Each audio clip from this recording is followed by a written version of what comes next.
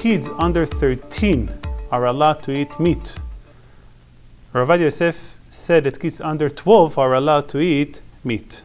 A lady who gave birth within 30 days, someone who's sick is allowed to eat meat. Pregnant lady and nursing mother not allowed to unless it's necessary for them to be strong. Someone who cannot function without meat is better to eat chicken than eating meat because meat that was sacrificed in Bet HaMikdash, so it's better to eat chicken. Baruch Adonai Leolam. Amen ve'amen.